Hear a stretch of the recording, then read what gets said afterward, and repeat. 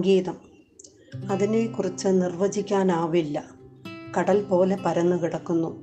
പണ്ഡിതനെന്നോ പാമരനെന്നോ ദേശമോ ഭാഷയോ ഇല്ലാത്ത ഒരു ദൈവീക കലയാണ് സംഗീതം. എത്ര പഠിച്ചാലും അവസാനിക്കുന്നില്ല.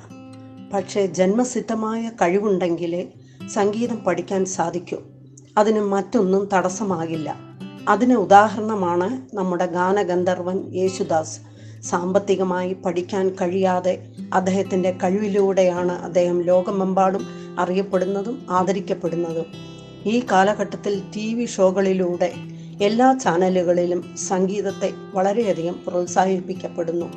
Asianet Idea star singer Flowers top singer Mazhavil Manorama super four എന്നിവയെല്ലാം ഇതിനൊരു ഉദാഹരണമാണ്.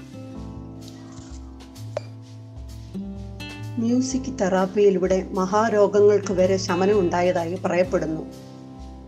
ലോക സംഗീതമായ ഈ ദിനത്തിൽ ഇത്രയേ പറയാനുള്ളൂ. കഴിവും സൗകര്യവും ഉണ്ടെങ്കിൽ എല്ലാവരും സംഗീതം പഠിക്കണം.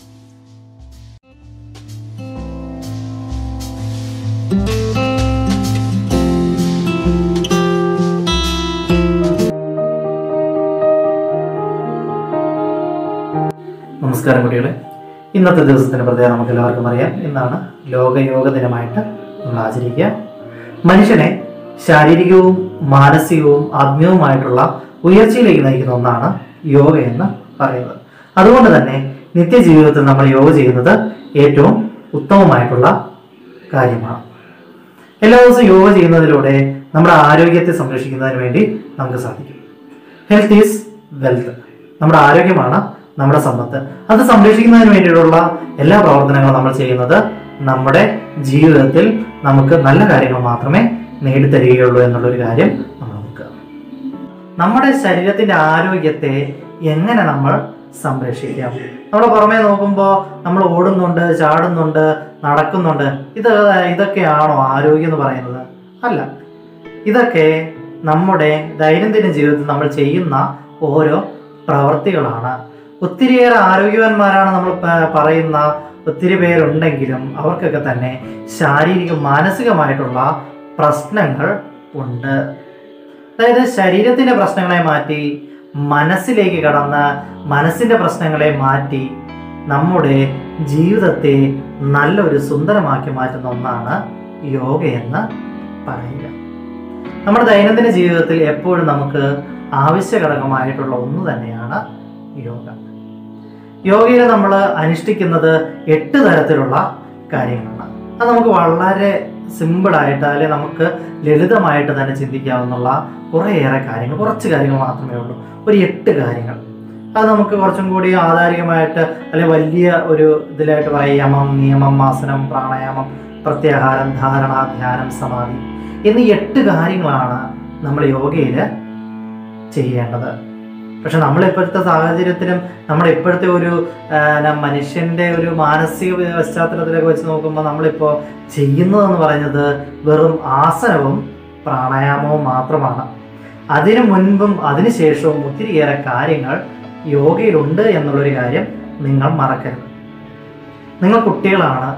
കുട്ടികൾ വളർന്നു വരുമ്പോൾ അവരുടെ ശീലങ്ങളും വളർന്നു വരും. അത് നല്ല ശീലങ്ങളാണെങ്കിൽ നമ്മുടെ ജീവിതത്തിൽ നല്ലൊരു ഉയർച്ചയും സന്തോഷവും നേരിടാനായിട്ട് നമുക്ക് സാധിക്കും. അതേ അപേക്ഷിച്ച് നമ്മുടെ ജീവിതത്തിൽ യാതൊരു മൂല്യവും ഇല്ലാതെ നമ്മൾ വളർന്നു വരികയാണെങ്കിൽ നമ്മുടെ ജീവിതത്തിൽ എന്തെങ്കിലും സാധ്യമാകാനായിട്ട് പറ്റുമോ? എന്തെങ്കിലും നമുക്ക് നേടിയെടുക്കാനായിട്ട് പറ്റുമോ? ഇല്ല. അപ്പോൾ നമ്മുടെ ആരോഗ്യത്തെ സംരക്ഷിക്കുന്നതിന് വേണ്ടിയിട്ടുള്ള കാര്യങ്ങൾ ഇന്ന് തൊട്ട് നമ്മൾ ചെയ്തു തുടങ്ങണം. തുടങ്ങണം. നമ്മുടെ ശരീരത്തിനെ എപ്പോഴും ബലവത്താക്കി അല്ലെങ്കിൽ നമ്മുടെ ശരീരത്തെ എപ്പോഴും ആരോഗ്യമുള്ള ഒന്നാക്കി മാറണം നമ്മുടെ ശരീരം ആരോഗ്യമായിട്ട് നിൽക്കുമ്പോൾ തന്നെ നമ്മുടെ മനസ്സും എന്തായിരിക്കും? നല്ല ആരോഗ്യത്തോടു കൂടി തന്നെ ഇരിക്കും. നല്ല ഉഷാറായിട്ട് തന്നെ നമുക്ക് ഓരോ പ്രവൃത്തികളും നല്ല രീതിയിൽ തന്നെ ചെയ്യുവാനായിട്ടും സാധിക്കും. നമ്മൾ കുട്ടികളാണെന്നുള്ള കാര്യം ഞാൻ നിങ്ങൾ നേരത്തെ പറഞ്ഞു. അപ്പോൾ നമുക്ക് ചെയ്യാവുന്നുള്ള ഒത്തിരിയേറെ ആസനങ്ങൾ ഉണ്ട്. ഒത്തിരിയേറെ വ്യായാമ മുറകളുണ്ട് എന്ന് മാത്രം നമ്മൾ ഓർക്കുക. ആസനം കഴിഞ്ഞതിന് ശേഷം ആസനം എന്ന് പറയുന്നത് സ്ഥിരം സുഖം ആസനം എന്നാണ് സ്ഥിരമായിട്ട് സുഖമായിട്ട് നമുക്ക് ഇരിക്കാൻ കഴിയുന്ന ഏതവസ്ഥയിലായിരിക്കാൻ കഴിയുന്ന അതിനെയൊക്കെ നമുക്ക് ആസനം എന്ന് പറയാം. ഇപ്പോഴത്തെ സാഹചര്യത്തിൽ നമുക്ക് നിലവിലൊന്ന് ടി വി കാണുമ്പോൾ പോലും ഒന്ന് നിവർന്ന് നേരെ ഇരിക്കാനായിട്ട് നമുക്ക് സാധിക്കുന്നില്ല എന്നുള്ളതാണ് വാസ്തവം. ശരിയല്ലേ? അപ്പോൾ ഈ ഇങ്ങനെയുള്ള പ്രശ്നങ്ങളെല്ലാം മാറ്റിയെടുത്ത് സ്ഥിരമായി സുഖമായി നമുക്ക് ഇരിക്കാൻ പറ്റുന്ന ഒരവസ്ഥയിലേക്ക് നമ്മുടെ ശരീരത്തെ കൊണ്ടെത്തിക്കുന്നു എന്നുള്ളതാണ് ആസനങ്ങളിലൂടെ ചെയ്യുന്നത്. അതിനുശേഷമാണ് പ്രാണായാമത്തിലേക്ക് വരുന്നത്. ശ്വസന പ്രക്രിയയിലെ പ്രശ്നങ്ങളെല്ലാം മാറ്റിയെടുത്തുകൊണ്ട് നല്ലൊരു ശ്വസനഗതി നമുക്ക് ഉണ്ടാക്കിയെടുക്കുന്ന ഒന്നാണ് പ്രാണായാമം എന്ന് പറയുക. പ്രാണായാമം കഴിഞ്ഞതിന് ശേഷം വരുന്നതാണ് പ്രത്യാഹാരം ധാരണ ധ്യാനം സമാധി.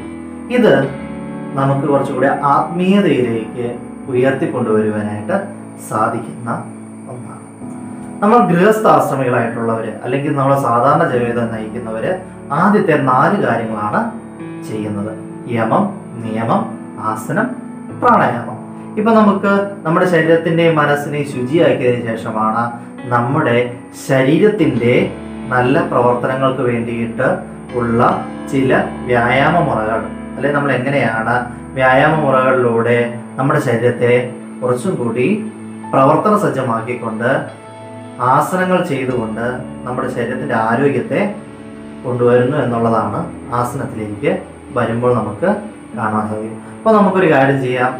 നമുക്ക് കുറച്ച് ആസനങ്ങൾ ഇന്ന് നമുക്ക് ചെയ്യാം. നിന്നുകൊണ്ടുള്ള ഏതാനും ചില ആസനങ്ങളാണ് നമ്മളിന്ന് ചെയ്യാൻ പോകുന്നത്. നമ്മൾ ആസനങ്ങൾ ചെയ്യുന്നതിന് മുൻപ് നമ്മുടെ ശരീരത്തെ ഒന്ന് വാമപ്പ് ചെയ്യണം അല്ലെങ്കിൽ ചെറുതായിട്ടൊന്ന് ചൂട് പിടിപ്പിക്കണം അതിന് വേണ്ടിയിട്ട് ചെറിയ ചെറിയ ചില ലളിതമായിട്ടുള്ള ശിഥിലീകരണ വ്യായാമങ്ങളുണ്ട് അല്ലെങ്കിൽ ലൂസിങ് എക്സസൈസ്.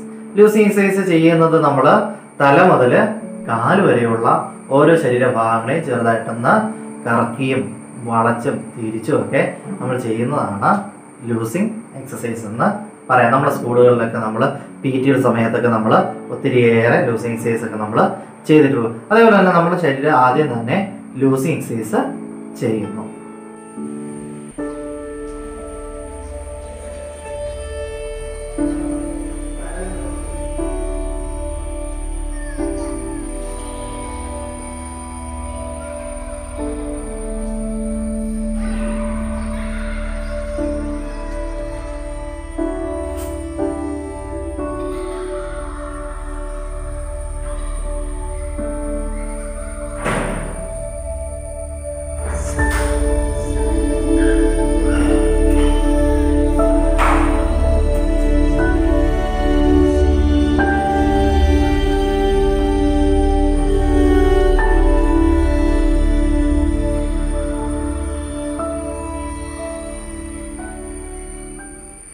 നമ്മുടെ ആരോഗ്യത്തെ സംരക്ഷിക്കേണ്ട കടമ ആർക്കാണുള്ളത്? നമുക്ക് മാത്രമാണുള്ളത്. പൂർണമായിട്ടുള്ള ഉത്തരവാദിത്തം നമുക്ക് മാത്രമാണുള്ളത്. വേറെ ഒരാൾ വ്യായാമം ചെയ്തു അല്ലെങ്കിൽ യോഗ ചെയ്തു എന്ന് ഓർത്തുകൊണ്ട് അല്ലെങ്കിൽ ഒരാൾ പറഞ്ഞു എന്ന് ഓർത്തുകൊണ്ട് നമ്മൾ ചെയ്തില്ലെങ്കിൽ ആ യോഗയുടെ ഗുണം നമുക്കൊരിക്കലും ലഭിക്കില്ല. നമ്മൾ യോഗ ചെയ്തു കഴിഞ്ഞാൽ മാത്രമേ അതിന്റെ ഗുണം നമുക്ക് ലഭിക്കുകയുള്ളൂ എന്നുള്ളൊരു കാര്യം കൂടി ഓർക്കുക.